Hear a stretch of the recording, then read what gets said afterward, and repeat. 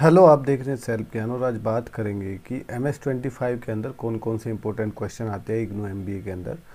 Managing change in organisations में। तो चलो देखते हैं। ये है एम एस ट्वेंटी फाइव की ई बुक है मैनेज चेंज इन ऑर्गेनाइजेशन तो इसके अंदर कुछ लॉन्ग क्वेश्चन है वेरी इंपॉर्टेंट क्वेश्चन है जो हर बार आए हैं। ये लगभग 10 साल के क्वेश्चंस का एनालिसिस है। अगर आप ये क्वेश्चंस कर लोगे तो आप बहुत अच्छे से अपने एग्ज़ाम को क्लियर कर सकते हैं। इसमें मैंने लास्ट में एक केस स्टडीज़ भी लगाया है जो 40 नंबर का आता है और साठ नंबर के ये क्वेश्चंस आते हैं जो आप देख रहे हैं। तो आपको जो है केस स्टडीज़ में क्या करना है? आपको इन सब जो जैसे टर्न अराउंड मैनेजमेंट है, जितनी भी हम चीज़ें इसके अंदर पढ़ेंगे, जितनी हम इसके अंदर थ्योरी पढ़ेंगे, उसी के बेस पे आपको अपनी केस स्टडीज़ को सोल्व करना है। जस्ट प्रैक्टिस के लिए मैंने नीचे केस हिस्ट्री दी है, जो एग्ज़ाम में आई है, आप उनके ऊपर वर्क कर सकते हैं उससे आपको पता चलेगा कि आपके एम एस ट्वेंटी फाइव में किस तरीके की केस हिस्ट्रीज आती हैं। ठीक है तो आपको क्या है, जस्ट जो मैनेजिंग चेंज से रिलेटेड है, जो हम चोरीज हैं, जो हम पढ़ते हैं, उन सबको इसके अंदर यूटिलाइज करना है। ठीक है inter group inter group interventions वगैरह हो गए मैनेजिंग ट्रांजेक्शन्स वगैरह हो गया रजिस्टेंस टू चेंज हो गया लीडरशिप टाइप का जो हो गया मैनेजमेंट के अंदर मैनेजमेंट किस तरीके से चेंज करता है, इन सब चीज़ को प्लान चेंज क्या है, ये सब चीज़ें आपको आनी चाहिए इसके अंदर। तो चलो एक एक करके हम डिस्कस करते हैं। मैं इसमें कुछ इंपॉर्टेंट क्वेश्चन बताऊँगा। इस बुक के अंदर जो है लॉन्ग क्वेश्चन भी हैं शॉर्ट क्वेश्चन है। फ़र्स्ट प्रियोरिटी वाले लॉन्ग क्वेश्चन ऊपर दिए, सबसे पहले इन सबको कर लेना है। आपको ये क्वेश्चन टर्न अराउंड मैनेजमेंट वाला लगभग हर जगह पे मिल जाएगा। और हर क्वेश्चन पेपर के अंदर ये मिलता है, इसलिए इसको मैंने टॉप प्रियोरिटी पे रखा है तो इसको आपको ढंग से करना है, अच्छे से करना है। आपको फोकस करना है इस बुक के ज़रिए, इस, इन क्वेश्चंस के ज़रिए कि जो क्वेश्चंस मैक्सिमम बार आते हैं, उन सबको आपको करना है। इसमें मेरा व्हाट्सअप नंबर भी दिया है, आप उस पर भी कॉन्टैक्ट कर सकते हैं अगर कोई इशू होता है तो। ठीक है, उसके बाद हम दूसरे नंबर क्वेश्चन के ऊपर चलेंगे।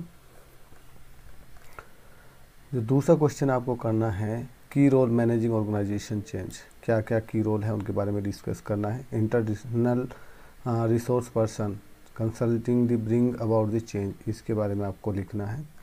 ठीक है? उसके बाद आपको तीसरा नंबर जो क्वेश्चंस करना है, इसी तरीके से हम बात करते चलेंगे। तो ये सोलह सत्रह क्वेश्चन है नीचे तो इन सबको हम करेंगे।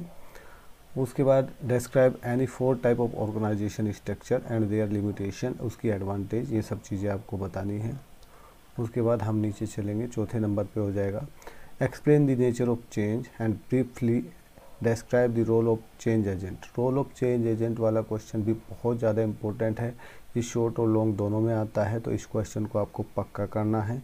ये जो सभी के टॉप के क्वेश्चंस हैं, ये आपको पक्का करने हैं। बाकी इसमें सभी जो है इंपॉर्टेंट क्वेश्चन है, सोलह सत्रह क्वेश्चन लॉन्ग हैं और सोलह सत्रह क्वेश्चन शॉर्ट हैं। जो पिछले दस साल में आए हैं, जो मैक्सिमम आए हैं, वो टॉप प्रियोरिटी पे है, जो कम बार आए हैं, वो नीचे हैं। तो उसी हिसाब से आपको इन सब क्वेश्चन को करना है और ये आपको एग्ज़ाम में आएँगे ही आएँगे। ठीक है? और इसके, इससे क्या है कि आपको एफर्ट कम हो जाएगा और आप अपने आप को जो है अच्छे मार्क्स के साथ आगे बढ़ सकते हो। What is intervention discuss the personal and interpersonal and group based intervention क्या है और एक्सप्लेन करना है एग्जाम्पल्स के साथ। तो इस तरीके से पाँचवा क्वेश्चन ये हो गया आपका। और जब आप छठे क्वेश्चन के ऊपर जाओगे तो ये बुक काफ़ी बड़ी है 83 पेज की है, आप इसको डाउनलोड कर सकते हैं, लिंक डिस्क्रिप्शन में दिया है। अगर फिर भी आपको कोई इशू आता है तो मुझे कमेंट कर सकते हैं। छठा क्वेश्चन है, define and describe organisational diagnosis briefly discuss the domain of organisation diagnosis organisation diagnosis वाला क्वेश्चन बहुत इंपॉर्टेंट है, किसी न किसी फॉर्म में आता है शॉर्ट ऑब्लिक लॉन्ग में। हम शॉर्ट क्वेश्चंस के ऊपर भी नीचे बात करेंगे। तो ये क्वेश्चन भी आपको करना है।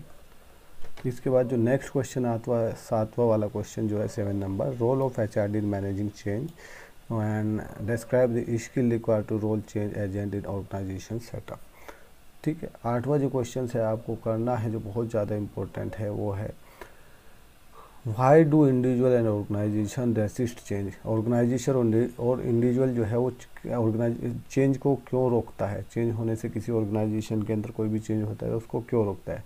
Source of individual and organisation resistance क्या क्या हैं? एक्सप्लेन करने हैं एग्जाम्पल्स के साथ। ठीक है, इसी तरीके से आपको नीचे जो है सेकेंड प्रियोरिटी वाले क्वेश्चन आपको मिल जाएँगे।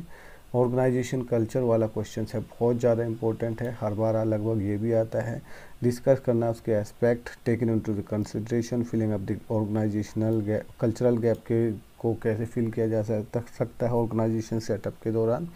तो ये सब चीज़ें बताना है। अब हम सीधा चलेंगे शॉर्ट क्वेश्चन के ऊपर, ठीक है? ताकि आपको इसमें पता चले। शॉर्ट क्वेश्चंस फ़र्स्ट प्रियोरिटी वाले मोस्ट इंपॉर्टेंट शॉर्ट क्वेश्चंस अगर आपको इसके और भी क्वेश्चन आपको देखने हैं, सोल सत्रह क्वेश्चंस के आप पास है लॉन्ग वो आप उसमें वीडियो बड़ा हो जाएगा, इसलिए मैं स्किप किया हूँ। आप इसको नीचे से डाउनलोड कर सकते हैं। जस्ट क्वेश्चंस के नीचे आंसर है।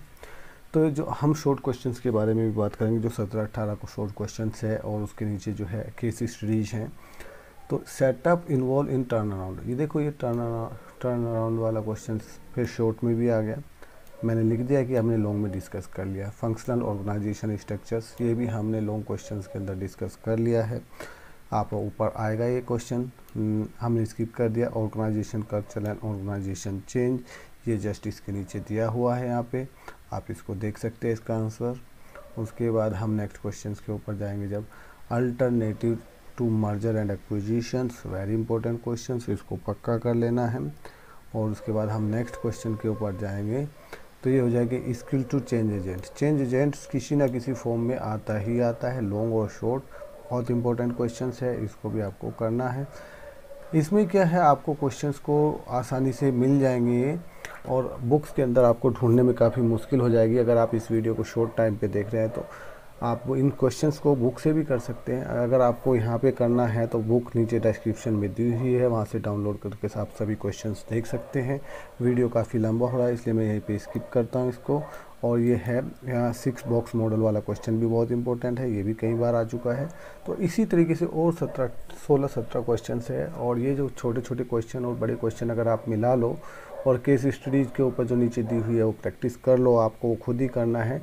इन सब में जो हम ये सब चीज़ें, जिस क्वेश्चन को हमने डिस्कस किया, उसी को इम्प्लीमेंट करना है और लिखना है उनके आंसर तो आप बहुत अच्छे मार्क्स के साथ आप इसमें पास हो सकते हो। अगर फिर भी आपको कोई इश्यू आता है तो नीचे कॉमेंट कर सकते हैं। Thank you